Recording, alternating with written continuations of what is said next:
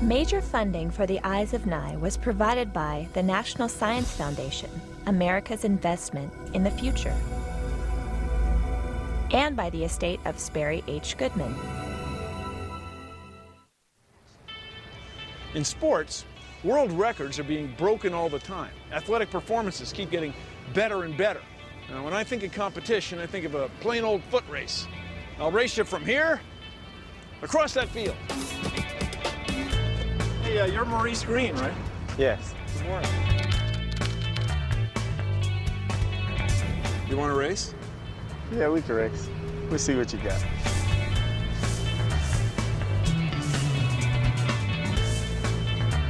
All right, Maurice.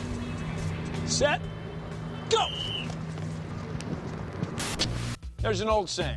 Doesn't matter if you win or lose, it's how you play the game. What, are you kidding? Look at all these trophies. We're obsessed with winning. That's why coaches, trainers, and athletes use the principles of science to develop winning formulas. When you root for your favorite player or the home team, are you really rooting for the science of sports? Well, let's have a look.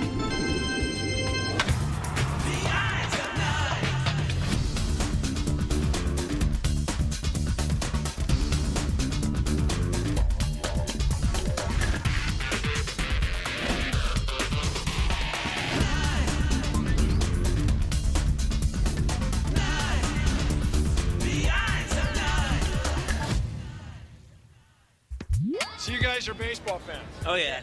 Now, are you also physics fans? Yeah. Are you a physics fan? No, You're not a physics fan. not too much. When you see a guy uh, propelling himself with uh, intermittent contact with that uh, granular surface, You're talking about running? yeah, when you see this uh, inelastic collision between the wooden cylinder and that leather spheroid, Right. It starts out as a parabola, but then it's got this uh, first order term with the aerodynamic drag constantly slowing the ball down. And he's going to uh, come across that uh, rectangular prism out there that's covered with canvas. The bag. The ball might have some spin on it, some Magnus effect, providing a slight amount of lift. The denominator and the density of the air in the numerator. What do you feel?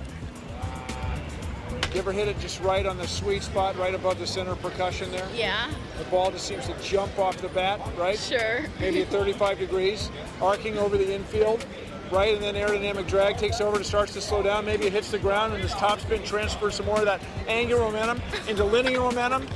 What do you feel? Great. So, how much do athletes think about physics? all of the techniques of these various uh, uh, sport movements, there's a lot of uh, uh, physics involved.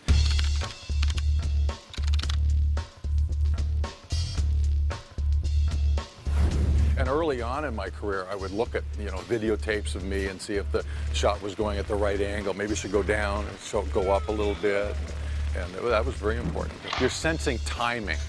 And this is the part of the, of the physics that comes into play, is that you have to have certain angles and trajectories and things like that. But prior to that, you have to have a certain timing. So you build up speed and then you settle and then you explode out. So it's, it's a matter of the technique and also the timing of the technique, which are kind of two different things.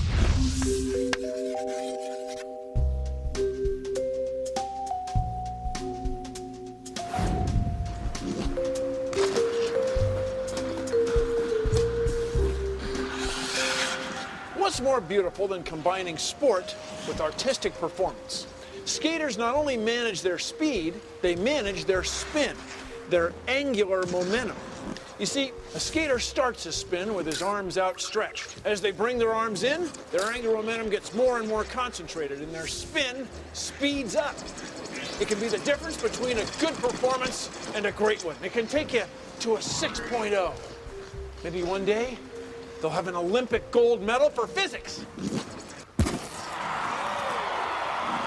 A man can dream. Sports involve motion.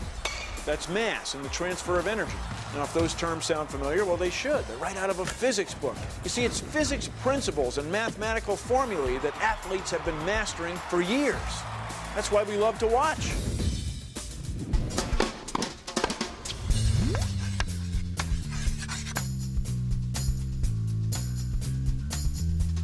So, John, doctor, what's the key to hitting a tennis ball?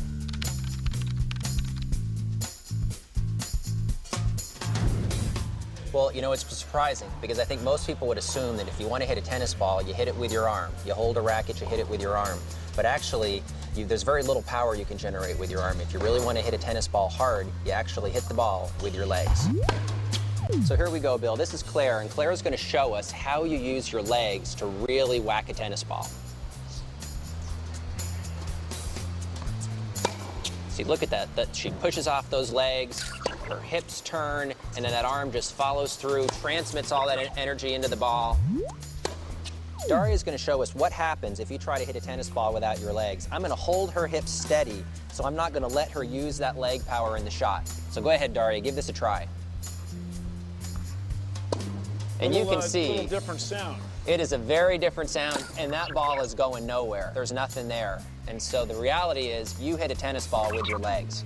The oldest sport in history is wrestling, going back 20,000 years. All that muscle against muscle, physics against physics. Sumo wrestling is one of Japan's most popular sports even today, using strength and leverage to push your opponent out of the ring. I don't know why more sumo wrestlers aren't playing professional football. Khalif, you're big, you're heavy, you got strong legs. You get your center of gravity lower than theirs and you upend them, creating torsion in the gravity field. Justin, you've got speed. You've got hand-eye coordination. You get down there and you get your hands moving the same speed as the ball and you catch it. You got the high friction gloves? All right, ready? Break. 71, 36, hut, hut.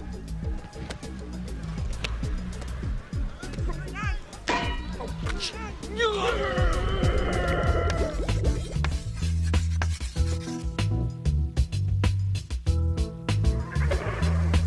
a look at these athletes. One is a lean, powerful swimmer. The other is a strong, muscular football player. In swimming, it takes more than muscle to compete. It's physics.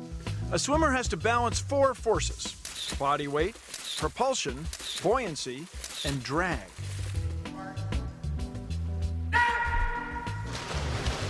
A swimmer's lungs hold air to keep him afloat, and his muscles propel him forward.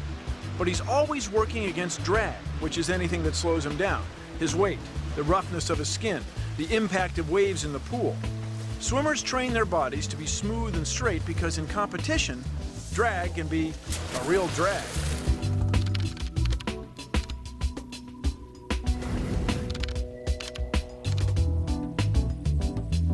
We spend more time in coaching swimming working on the elimination of drag forces than we do on the propulsion or velocity forces. We do some exercises, and Justin can show you here, where we try to pull the lower back in a position, stabilize and create a flat lower back, and then a high neck position, creating the longest, flattest line through the length of the body, creating a nice long axis of rotation. Go ahead and do a hip pop. Right in a, Whoa. nice flat back position, and then do a chicken neck. Bring your neck in. Creating a nice long line, mm-hmm. and that's what's most important to us in, in creating the right body position. The margin of victory in sports often depends on using the tools of the game to best advantage. What does it take to hit a home run? Well, it's a combination of three things the speed of the ball, the speed of the bat, and the angle at which the ball is hit. So, in the major leagues, they can throw 90 miles an hour. A major league player can swing the head of the bat at about 70 miles an hour. Now, if he can make contact at the right angle of, say, about 35 degrees, he can hit the ball out of the park for a home run. but a slower ball, hit with a bat going about the same speed, won't go as far. But the really strong players, like, say, Mark McGwire in his day, he could hit a home run no matter how fast the ball was going. Me, it's a little different story. The whole problem for all of us, though, is the whole thing is over in just a thousandth of a second. Huh, not bad. These are not real baseball physics formulas. For real baseball physics formulas, please go to our website. People shouldn't compete. They should work together. I even tried playing football once with a football made out of hemp, and it still wasn't cool. And besides, it got really soggy. Yeah. And sports is violent and all about losing. And the universe is not about losing, it's about love.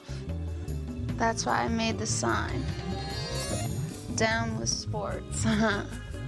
Hey, I, I made one too. oh, yeah? Oh, yeah. Oh, that's nice. Huh. Mine's like totally bigger than yours. So, it doesn't matter whose sign is bigger, it's the message. yeah, yeah, that's that's cool, I guess. Yeah. Except my bigger sign will get the message out to more people. Just mad because I kicked your in frisbee golf. What? No way! I beat you by like 400 points. I thought we weren't keeping score. Yeah, I said I wasn't, but I was inside my head. Whatever. See, that, that's just what human beings do. It's our nature, man. Yeah, it's gonna be your nature to sleep outside the bus tonight, too. Jerk. That's right.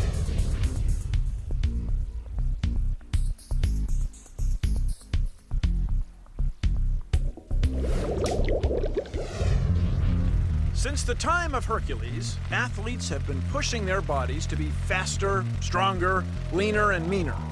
Now, why do they do it? To win! To get that physical edge in competition. The edge that will push them over the top. Make them a champion, number one.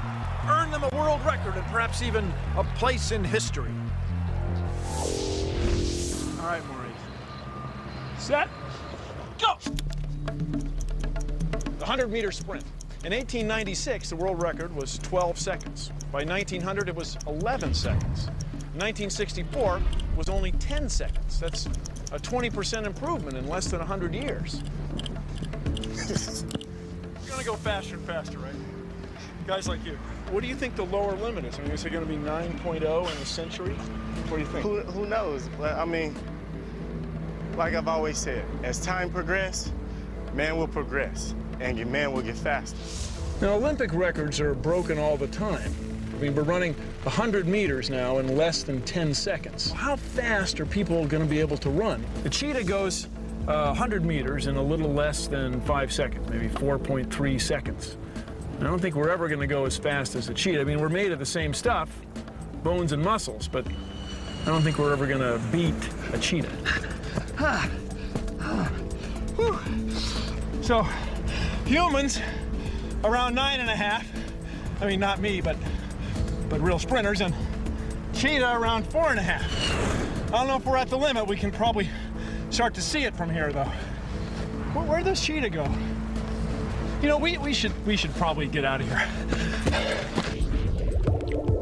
The boundaries of human performance have not been tapped fully, and I don't think they ever will. There will always be an evolution over the course of centuries because you always think you can go further.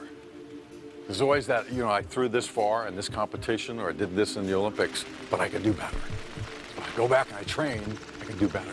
So why do the records keep getting broken? Well, for the shot put, it's two things. It's strength and it's speed. The more speed you can develop inside that seven foot ring, and the greater the strength of that athlete, the farther that 16 pound ball is going to go. So why are people faster and stronger now than they used to be? Lifting weights. Primarily it's lifting weights, and there's a, I think there's a natural evolution of the body being able to move more quickly in space. So in other words, you think a modern kid shot putting is has evolved, is better than you are by two generations. Yeah, because the, uh, the size, just the size of the athletes that are out there, uh, are much larger than they were when I was in high school.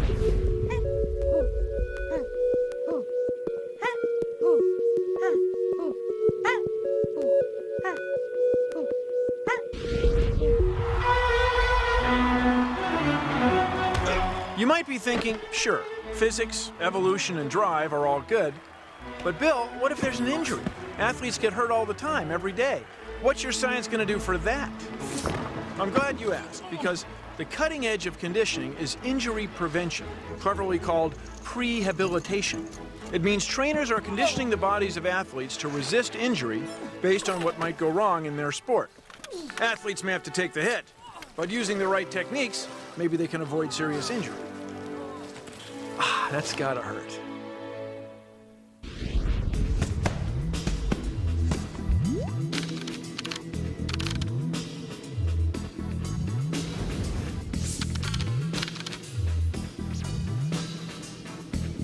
Well, we're trying to train the rotator cuff uh, into, into thinking on its own a little bit, trying to provide a, a visual stimulus to, uh, so Ben can react to it very quickly, as he'll have to react to it on the football field.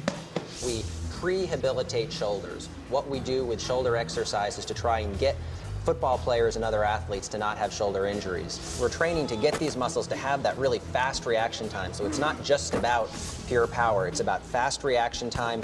So anywhere this arm needs to point, we've got that shoulder blade pointing in that direction. So we've always got this in the right position to promote maximum stability. If I'm a linebacker and I've got a hold of you and I have to look at the quarterback, I have to be able to make those muscles react very quickly. So that's what we're trying to do here. Not only make them strong, but make them very reactive and very quick. I think for most athletes, the core, what's called the core, is the weak link. The core is the center of the body. It's essentially where the belly button is going all around. And so if the core is weak in hitting a baseball, hitting a golf ball, throwing a shot put, that will usually end up being uh, the downfall of that athlete. They always think about the upper body first, and then they think about the legs second. Usually they think about the middle, the torso, third. A lot of people have low back problems just in non, uh, non-athletes, and that's because it's not very strong relative to the rest of the body. How do you make your midsection strong?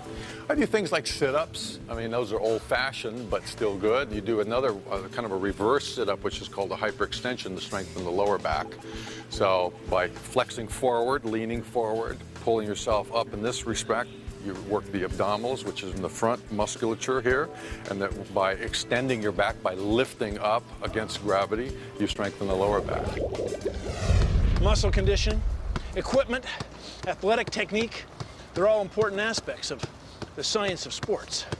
But for maximum performance, you have to make them all work together. You have to go beyond physics and into the mind. Yes! See, I could have played pro ball.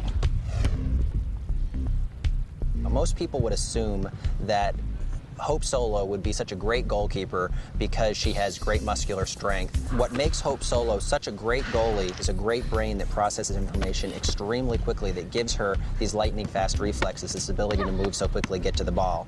First, she has to see the ball. She needs to make a decision, which is taking place in the middle of the brain, and then she needs to say, I need to get moving. And remember, this is taking place in all less than a second. Less than a second. It's amazing.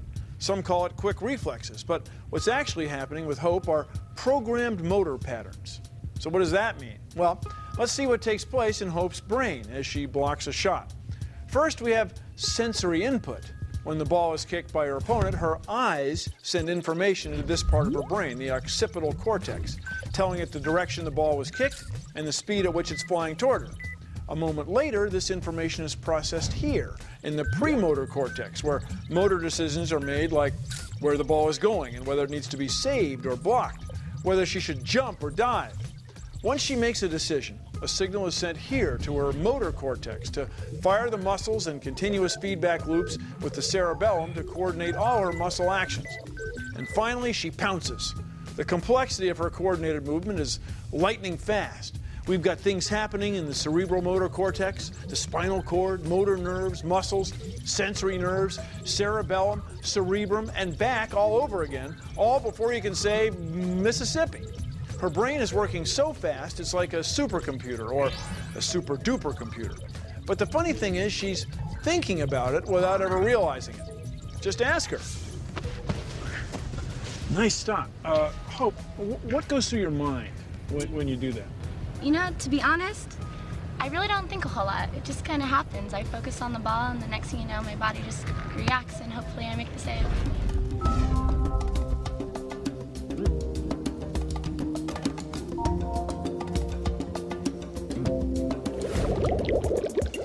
The computing functions of the mind never stop when a game is in play. When a deep fly ball is hit in baseball, the fielder moves to make the catch. But he rarely moves in a straight line. Usually, it's a gentle arc. Now, why is that? It's the same as when you throw a frisbee to your dog. The dog's constantly making adjustments, taking a curved path because her position relative to the disc is always changing. Calculations are going on all the time. It's fascinating, isn't it, Tess? She's fascinating. In some sports, you have forever to think before you make a move. In other sports, they don't even want you to talk while they're thinking. A golfer has to make all the same calculations as any other athlete before she makes a shot. Whether you're Hope Solo or Tiger Woods, when you're on top of your game, you're in the zone. Good evening and welcome to In the Zone, the show that examines speed, dexterity, and mental quickness, the ingredients that add up to that intangible quality found in all great athletes and performers. Today we match Hope Solo, the goalie for the United States women's soccer team, with video store clerk Craig Baker. Let's see who's in the zone. The ball is getting close to the goal. Hope gets in position. Oh, let's check with Craig. What a lame choice. Orson Welles. Reflexes, training, and lightning fast decision making. The hallmarks of a great athlete. You want to try this? This is excellent. Join us next week on In the Zone. When you're shot putting, just for example, what are you thinking about? As little as possible. Now, everybody says that, as little as possible. Yeah. Is that the zone? That that is really the zone. You know, at that point in time, you've practiced the movement, you know, 5.7 million times. So you got to know it by then. You would one would think. So at that point, it's a matter of just getting in the ring and just going blank and just letting it happen. How do you get in the zone? It took years of me training and learning how to actually quiet my mind. So at a young age, everybody would say, you got to get psyched up. But when you get to the Olympic level, not too many people are psyched up, the ones that do well. They're the ones that are kind of quiet. Now, what about the role of the crowd? The crowd is immense. You take on their energy. There's, there's energy that's directed towards you. You know, they're kind of supporting you. And in that support, it just kind of gives you this little extra sense of, I can do it. We've talked a lot about the physics, the science of sports, but there's still a mystery. Why do we play sports? I mean, look at us. We spend billions of dollars every year on stadia, on uniforms, on player salaries, on merchandise. Why is that? I mean, are modern sporting events just the same kind of thing? A modern recreation of when our tribe met the other tribe from down the trail at that clearing in the woods? We got together to see who was better at throwing stones? Or is it more than that? I think we're obsessed with sports because we don't know what's going to happen. It's the ultimate drama. What's more exciting than the last hole? The players are tied neck and neck, and one of them just hit a birdie and the other one's just teeing off. What's more exciting than the bottom of the ninth? Two outs. You're at the plate, two strikes, and runners in scoring position, and one hit, and you win the game. What's more exciting than to be down by two points and your team's got the ball at the three point line, and there's two seconds on the clock, and he turns and he shoots? Nothing's more exciting. You see, the thing about sports is we don't know how it's going to end till it ends. It's not over until it's over. That's the passion, beauty, and joy of athletic competition. Well, if you excuse me, uh, there's a game on. I'll see you next time on The Eyes of Nye. Hit it where they ain't. And you shouldn't be yelling this loud at a golf course.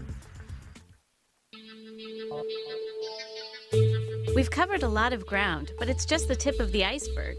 Check out eyesofnye.org for more cool science.